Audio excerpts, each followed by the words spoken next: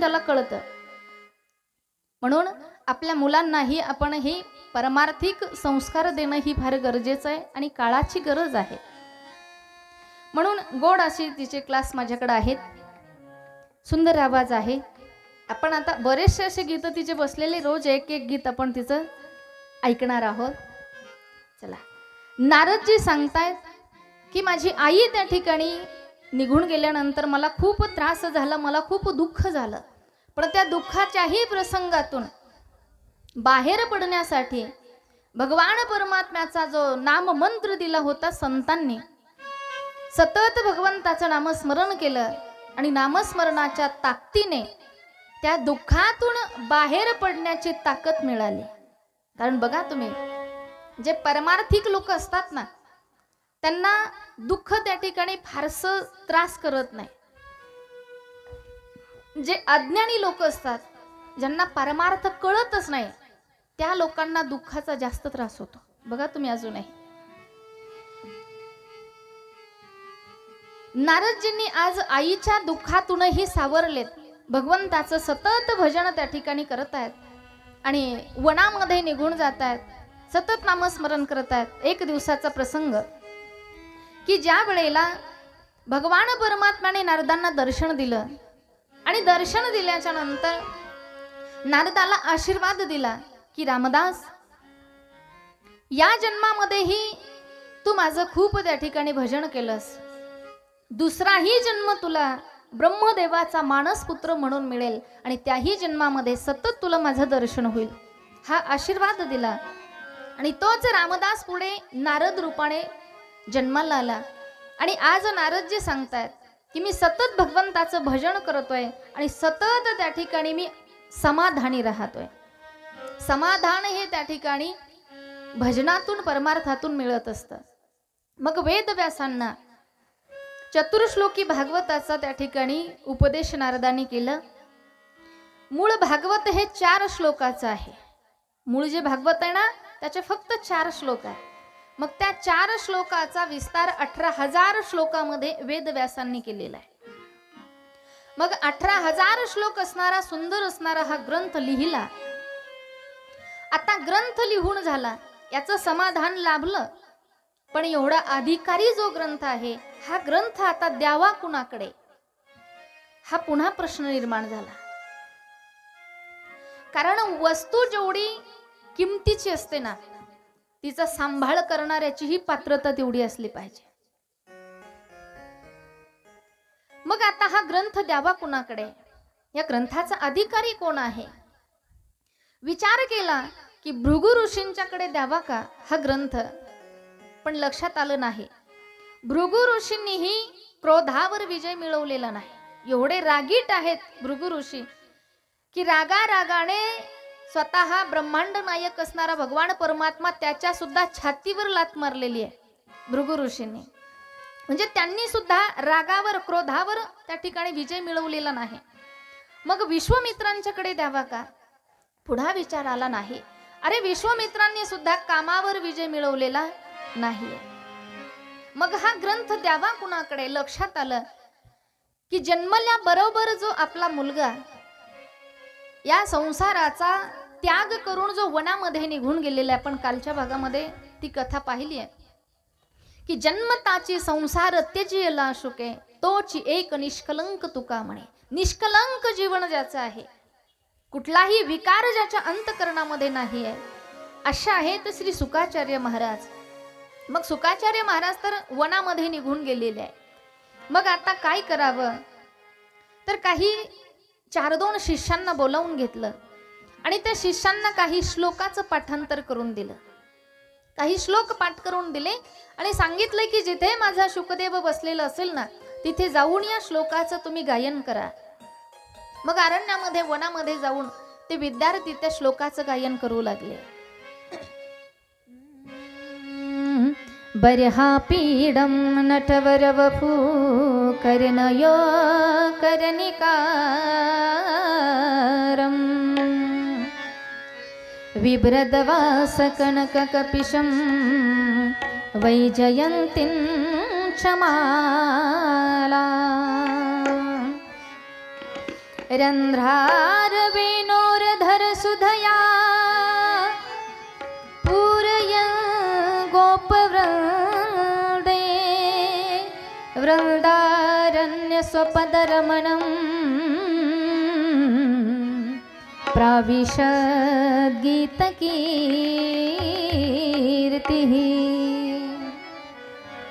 की बरहा पीडम नटवरवफू कर्णयो कर्णिकारम। या श्लोकामध्ये भगवंताच्या स्वरूपाचं वर्णन केलेलं आहे. की भगवंताचं स्वरूप कसं आहे? बरहा पीडम बरहा म्हणजे मोर. मोर मुकुट ज्याने आपल्या मस्तकावर धारण केलेलं आहे. कर्णयो कर्णिकारम कानामध्ये कणेराचे फुलं धारण केलेले आहे. हातामध्ये सुंदर अशी बासरी धरलेली आहे. सुंदर असं त्याच्या सौंदर्याचं वर्णन ऐकलं आणि सुखाचार्य महाराज समाधीतून बाहेर आले.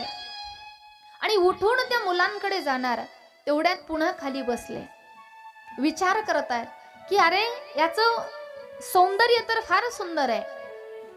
रूपाचं वर्णन चांगलं आहे पण याचा स्वभाव काय माहिती आपल्याला कसा आहे? कारण एखादा व्यक्ती दिसायला जरी सुंदर असला तरी त्याचा स्वभावही चांगलाच असतो असं काही नसतं.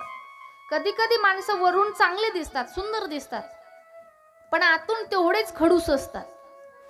आपल्या आंबडमधले सोडून. पण शास्त्र सांगतं की माणसाच्या बाहेरून सुंदर असण्यापेक्षा लक्ष देऊन ऐका माणसाने बाहेरून सुंदर असल्यापेक्षा माणसाने आतून सुंदर असलं पाहिजे. एखाद्या वेळेला बघा तुम्ही आपला जर चेहरा सुंदर असेल तर लोक आपल्याकडे बघत राहतील. नाही का? चेहरा जर सुंदर दिसत असेल तर समाज आपल्याकडे बघत राहील बघेल आपल्याकडे. चेहरा जर सुंदर असेल तर लोक तुमच्याकडे बघतील.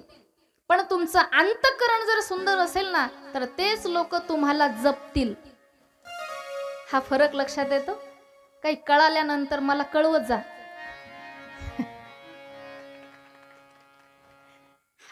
कळालं म्हणून नाही का? आपण बाहेरून किती सुंदर असावं हे आपल्या हातात नाहीये. तुम्हाला कळेल असंच बोलणार आहे मी. आपला चेहरा कसा असावा हे आपल्या हातात नाहीये. पण आपलं अंतकरण कसं असावं आपला स्वभाव कसा असावा हे नक्कीच आपल्या हातात आहे. कशाप्रमाणे अगदी रोजचं उदाहरण सांगेल मी तुम्हाला. आपण द्वारामध्ये रांगोळी काढतो. काढतो ना? तर त्या रांगोळीमध्ये टिपके किती काढायचे हे आपल्या हातात नाहीये. टिपके किती काढायचे हे आपल्याला पुस्तकात बघूनच काढावे लागतात. ते ठरलेले असतात. जसं ठरलेले तेच टिपके आपल्याला स्वीकारावे लागतात. पण टिपके जरी पुस्तकातून घेतले असले तरी त्याच्यामध्ये रंग मात्र कोणते भरवायचे ते नक्कीच आपल्या हातात आहे. कळतंय ना? ती रांगोळी किती सुंदर रंगाने रंगवायची आहे हे आपल्या हातात आहे. मग आपलं बाहेरूनचं सौंदर्य आपल्या हातात नाहीये. आपण गोरं असावं की काळं असावं हे आपल्या हातात नाहीये. हातात जर असतं तर सगळेच गोरे झाले असते. आपली नाक सरळ असावी का गोल असावी? तिला दे- सेंडा असावा की ते नसावा? हे आपल्या हातात नाहीये. चेहरा सुंदर असावा की नाही हे आपल्या हातात नक्कीच नाहीये. पण आपलं मन किती सुंदर असावं हे नक्कीच आपल्या हातात आहे. म्हणून सौंदर्यापेक्षाही अंतकरणातलं सौंदर्य फार महत्वाचं आहे. माणसाचा स्वभाव फार महत्त्वाचा असतो. शुकाचार्य महाराज विचार करतायत की याच्या स्वरूपाचं वर्णन मी ऐकलंय पण याचा स्वभाव मला माहिती नाहीये. मग पुढचा जो जेव्हा श्लोक ऐकतात की आहो बकीयम स्तनकालकूटम जिज्ञासया पाययदप्य साध्वी लेभे गतिं धातृचित्तान्ततोन्यं कं वा दयालु शरणं ब्रजेम आहो बकीयम बकी म्हणजे पुतना। पुतना राक्षसनी होती। ती स्तनामध्ये विष भरून भगवान परमात्म्याला मारण्यासाठी आली होती। मग जी मारण्यासाठी आली आहे तिचा सुद्धा उद्धार केला भगवंताने. एवढा गोड स्वभाव त्याचा आहे. आणि जेव्हा मग त्याच्या स्वभावाचं वर्णन ऐकलं त्यावेळेला मात्र शुकाचार्य महाराज समाधीतून बाहेर येत आहेत. आणि त्या मुलांना त्या ठिकाणी विचारत आहेत की अरे असे काही श्लोक तुम्ही आणखी मला म्हणून दाखवा ना. त्या मुलांनी सांगितलं की तुम्हाला आणखी श्लोक जर ऐकायचे असतील तर आमच्या गुरुजींच्याकडे चला. हे मग वेदव्यासांकडे घेऊन सुखाचार्यांना येत पाहिलं व्यासांचं दर्शन झालं मनातून आनंद झाला चरणावरती नतमस्तक होत आहेत वेदव्यासांनाही आनंद झाला की अनेक वर्षानंतर आपला मुलगा त्या ठिकाणी घरी आला. आणि त्या सुकाचार्य महाराजांकडे हा सुंदर असणारा हा भागवत ग्रंथ त्यांच्या स्वाधीन करून दिला. मग पुढे ऋषी प्रश्न विचारत आहेत की भागवत ग्रंथ वेदव्यासांनी सुकाचार्यांकडे दिला ठीक आहे. पण मग सुकाचार्यांनी राजा परीक्षितीला केव्हा सांगितला? आणि का सांगितला? आणि हे परीक्षिती कोण होते? हा प्रश्न जेव्हा विचारला तेव्हा परीक्षिती महाराजांच्या जन्माची कथा अर्थात परीक्षितींच्या पूर्वजांची कथा या ठिकाणी आलेली आहे. तर सुंदर असं पांडव चरित्र आपण या ठिकाणी पाहणार आहोत.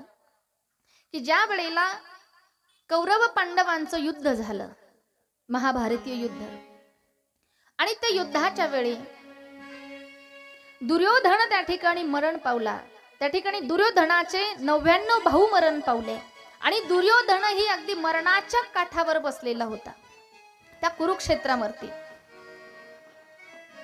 आणि ज्या वेळेला त्या दुर्योधनाची ही अवस्था झाली ना तर त्याला त्याच्या नातेवाईकांपैकी कोणीच त्याच्याजवळ नव्हतं.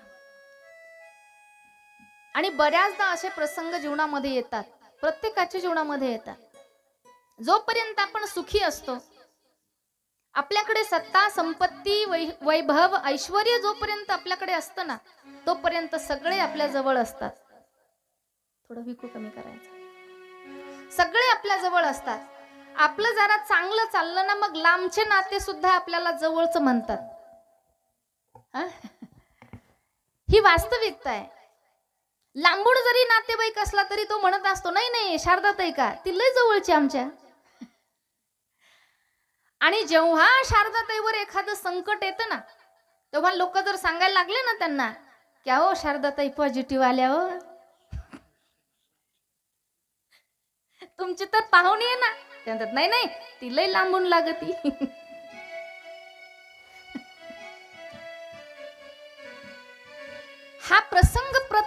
जीवनामध्ये येतो. आज दुर्योधनाच्या जीवनामध्ये हाच प्रसंग आहे. दुःखाचा प्रसंग आहे तर कुणीही त्याच्याजवळ नाहीये. सुखात सगळे सोबत असतात दुःखात मात्र कोणीही सोबत नसत. सुख के सब साथी दुख में ना को